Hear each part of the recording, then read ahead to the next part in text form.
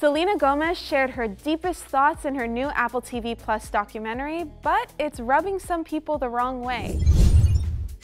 I want to be like super famous.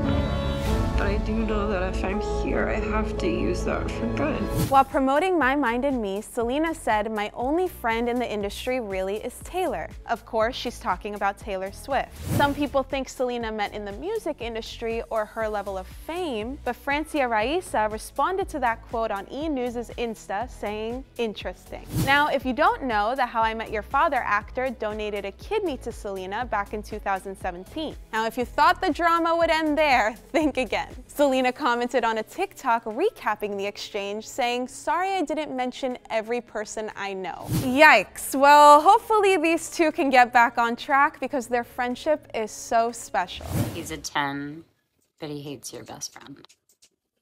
Mm, I hate her too sometimes.